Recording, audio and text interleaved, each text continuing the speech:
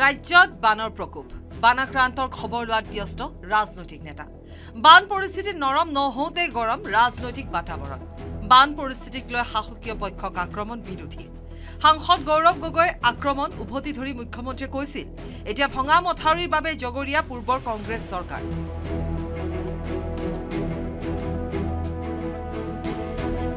Indirectly যদি নিজৰ দেউতাকক নিজে গালি পাৰে মই কি কৰিম? যিকেইটা মথাউৰি বনি আছে যিকেইটা মথাউৰি ভাঙিছে তাত আমি হাত লগোৱা মথাউৰি নহয়। কংগ্ৰেছৰ দিনত বনা মথাউৰি। শনিবাৰে সংবাদমেল পাতি এ পি চি চি সভাপতি ভূপেন বৰাই ক'লে মথাউৰিৰ এটাৰ বয়স কেৱল বিছৰ পৰা পঁচিছ বছৰহে। দুহেজাৰ এক চনত নিৰ্মাণ কৰা মথাউৰি এটাৰ মেৰামতি কৰিবলগীয়া হোৱাৰ বাবে কংগ্ৰেছ চৰকাৰ দায়ী নহয়। বিজ্ঞানসন্মতভাৱে বনোৱা প্ৰত্যেকটো মথাউৰিৰ বয়স বিছৰ পৰা পঁচিছ বছৰ। গতিকে দুহেজাৰ এক চনত বনোৱা মথাউৰি যদি আজি ভাগিছে তাৰ কাৰণে তৰুণ গগৈ ডাঙৰীয়া জগৰীয়া হ'ব নোৱাৰে।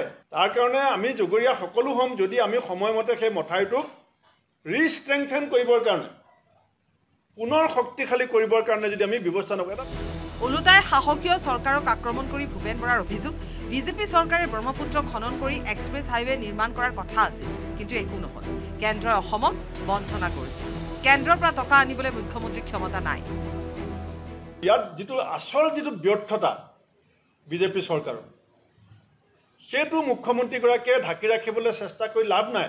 মই মুখ্যমন্ত্ৰীগৰাকীক আজি আনুষ্ঠানিকভাৱে আহ্বান জনাইছোঁ। যে কেন্দ্ৰই আপোনাক বঞ্চনা কৰিছে আপুনি মুখ ফুটাই ক'ব নোৱাৰে। চৰকাৰৰ সমালোচনাত মুখৰ হ'ল আন আন কংগ্ৰেছী নেতাও। তো বৰ্তমান চৰকাৰৰ কাম মাত্ৰ মেইনটেনেঞ্চে মেইনটেনেঞ্চ আৰু ৰিপেয়াৰ। এতিয়া তেওঁলোকে হিচাপ দিয়ক যে যোৱা দুটা বছৰৰ ভিতৰত তেওঁলোকে কিমান মাথাউৰি মেইনটেনেঞ্চ আৰু ৰিপেয়াৰ কৰিলে কিমান তেওঁলোকে ফাণ্ড আবণ্টন কৰিলে।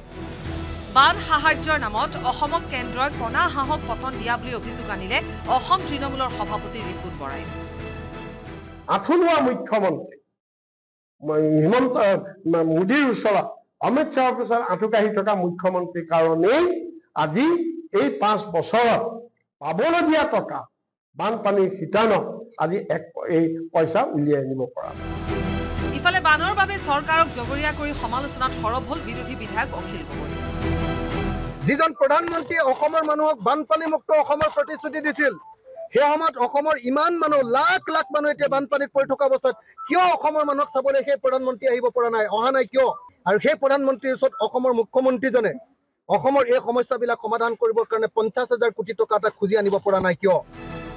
ইফালে বান পৰিস্থিতি জটিল হৈ থকাৰ সময়ত কোন নেতাই ৰাইজৰ দুখ দুৰ্দশা বুজ লোৱা নাই তাক লৈও সষ্টম নজৰ ৰাখিছে অখিল গগৈয়ে নগাঁৱৰ বান পৰিস্থিতিক পিঠি দি বিধায়ক জিতু গোস্বামীয়ে থাইলেণ্ডত পুত্ৰৰ উপনয়ন আয়োজন কৰি লাভ বিলাহ কৰাৰ অভিযোগ আনিছিল অখিল গগৈয়ে শনিবাৰে তাৰ প্ৰত্যুত্তৰ দিলে জিতু গোস্বামীয়ে ক'লে মই ডেষ্টিনেশ্যন উপনয়ন পতা নাই কিন্তু অখিল গগৈয়ে ডেষ্টিনেশ্যন ফ্লাড পাতিছে।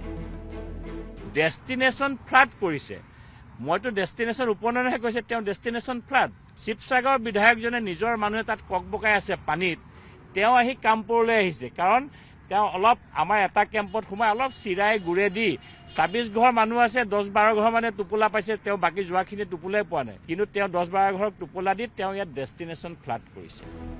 News desk report news eighteen Assam north east